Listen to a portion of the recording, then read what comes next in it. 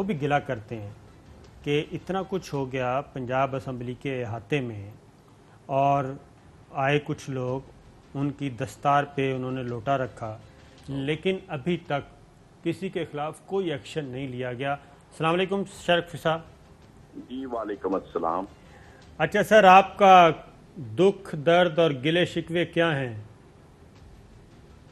किसके साथ गिला शिकवा जी?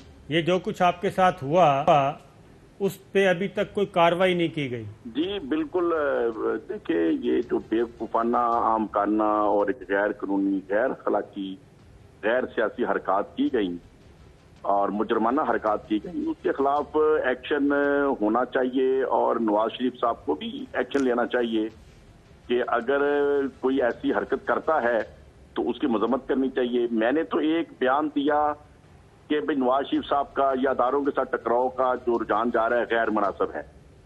उसी दिन मुझे शो का नोटिस दे दिया गया।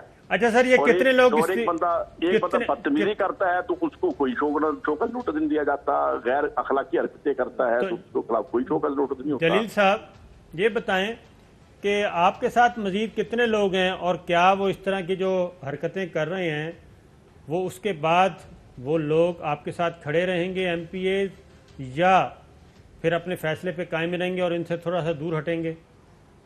आ, नहीं सब शाकिर साहब पहले तो मैं ये क्लियर कर दूँ हम कोई ग्रुप नहीं है। मैं एक वन मैन हूँ और मेरा अपना गुजार साहब से या खान साहब से एक मोहब्बत का रिश्ता है। उसमें कोई ग्रुपिंग नहीं है। हाँ मौलाना गयासुद्दीन साहब या डाहा साहब या अशरफ अंसारी साहब हर एक का इंडिविजुअल अपना कोई ना कोई इशू है और कोई ना कोई रिलेशनशिप अगला इलेक्शन आप किसके टिकट से लड़ना पसंद फरमाएँगे? जी मैं मुस्लिम लीग में हूँ और मुस्लिम लीग के साथ चल रहा हूँ लेकिन इख्तलाफ राय हो सकता है और इख्तलाफ राय में कोई बुरी बात नहीं है। बिल्कुल ठीक है। और मेरा तो ये एतराज़ है कि मियाँ नवाज़ शरीफ साहब के अंदर हौसला होना चाहिए। पहली बात तो यह है कि अदारों के साथ टकराव की जो पॉलिसी है ये गैर मुनासिब तो है। गुजरावाला के जलसे में आप जो रहे हैं? आपने जो आपने दिखाया वो तहरुल कादरी साहब के मदरसे के ऊपर चढ़ाई की गई बिल्कुल जालमाना इकदाम था।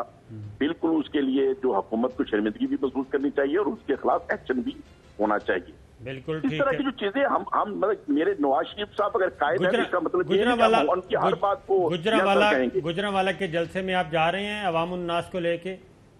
देखिए मुझे तो उन्होंने कॉल नहीं किया वो अवॉइड कर रहे हैं। अगर कॉल करेंगे और मैं अगर समझूँगा कि वो जलसा हुबल वतनी में है और मुल्क के मफाद में है तो ज़रूर जाऊँगा। तो इसके बावजूद- कि उसका फैसला जो जलसे का है वो मुल्क के मफाद में नहीं है तो फिर मैं नहीं जाऊँगा। जली साहब इसके बावजूद आप कह रहे हैं अगला इलेक्शन आपने नून लीग के टिकट से लड़ना है। जी अगर इलेक्शन में अवाम ने चाहा तो मैं आज़ाद भी लड़ सकता हूँ और अगर मुस्लिम लीग ने कहा तो मुस्लिम लीग पे भी लड़ सकता हूँ।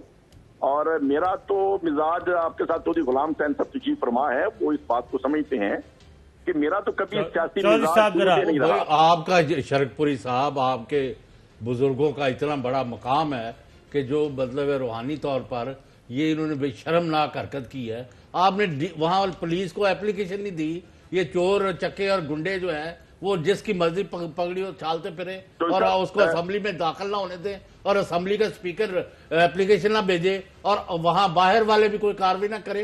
इस तरह तो उनको खुली छुट्टी दे दी है कि जाओ तो जिसकी मर्ज़ी पगड़ी उछालते फिरो। हाँ मैं मैं मैं अर्ज़ करता हूँ मैंने वो चूँकि असेंबली प्रेमिसेस के अंदर हुआ और पंजाब पुलिस अपने आप वहाँ कार्रवाई नहीं कर सकती। मैंने स्पीकर असेंबली चौधरी परवेज लाई साहब को उसी दिन दरख्वास्त पेश कर दी थी।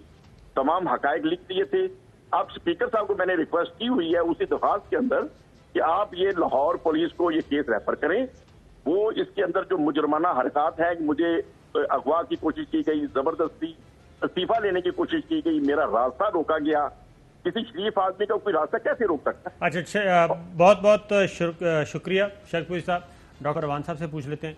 ये जो इंडिविजुअल इन्होंने एप्लीकेशन दी है उस पे पुलिस कार्रवाई कर सकती है। गलत कह रही है अगर ऐसा कह रही है। हाँ जी मैं आपको पाकिस्तान के सुप्रीम कोर्ट ऑफ़ पाकिस्तान का फैसला बता देता हूँ। जावेद हा, हाशमी साहब ने एक प्रिसिंक्ट ऑफ़ द पार्लियामेंट के अंदर आपको याद है एक प्रेस कॉन्फ्रेंस जी हाँ, प्रेस कॉन्फ्रेंस के नतीजे में उनके पे पर्चा हुआ था। पच्चीस साल कैद हुई उन्होंने पर्चा जब हुआ तो उन्होंने पर्चे को चैलेंज किया पहले कैद बाद में हुई। उसमें ये डिटर्मन हो गया पॉइंट कि अगर कोई क्रिमिनल एक्ट होता है तो पर्चा हो सकता है। ऐसा नहीं हो सकता कि कल असेंबली में कोई खुदा न खास्ता लेके चला जाए आम और वहाँ किसी को वो चला दे और कहे जी मुझे इम्यूनिटी हासिल है और मैं तो मैंने तो एक ही बंदा मारा दो बाकी छोड़ दिए मैंने। ऐसा नहीं हो सकता। इसलिए अगर पुलिस ये कह रही है जिस तरह फाजिल मेंबर पंजाब असेंबली बता रहे थे तो ये गलत है। पुलिस को ऐसा नहीं करना चाहिए पर्चा हो सकता है। दूसरा इनके पास 22 ए का अगर इनके पास दरखास्तों की कॉपियाँ हैं उनकी सर्टिफाइड कॉपियाँ लें सेशन के पास जाया जा सकता है सेशन जज के पास। अच्छा तीसरी बड़ी इंपॉर्टेंट बात यह है कि जिस तरीके से मैंने तो फुटेज देखी है जिस तरीके से उन्होंने पोर्ट्रे किया इस तरह पता लगता था कि ये उनकी कोई जागीर के कोई मुलाजिम है जिनसे वो कोई सलूक कर सकता है। है। वो भी सलूक दो एक सौ साल पहले उसके बाद हाँ। ह्यूमन राइट्स आ गए थे। तो इसलिए ये एक तो जहालत की आखिरी हद थी ज्यादती की भी आखिरी हद थी और उसके साथ साथ ये मजहबी दिल आजारी भी है। इसलिए कि दस्तार और हाँ। दस्तार फजीलत और अगर कोई पीरजादा है अगर कोई साहिब सज्जादा है तो ये इसका एक मजहबी एंगल भी है। मुझे नहीं पता इन्होंने क्या दरखास्त तो आपने तो हुकूमत ने उनको अपने हाल पर छोड़ दिया ना।